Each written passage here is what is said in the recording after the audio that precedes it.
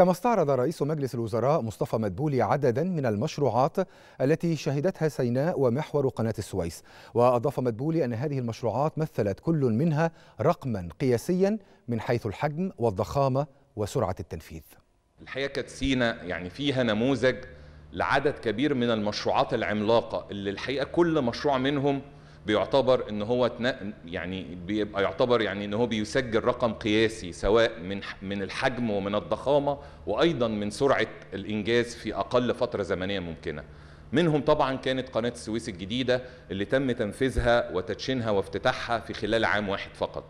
عندنا منطقة المزارع السمكية الأكبر اللي المفروض مع اكتمالها في منطقة شرق التفريعة هتكون واحدة من الأكبر على مستوى العالم. مجموعة الأنفاق اللي اتنفذت اللي المفروض برضو يعني الحقيقة مع تنفيذها من أكبر المشروعات الإنشائية على مستوى العالم المشروع اللي إحنا موجودين فيه.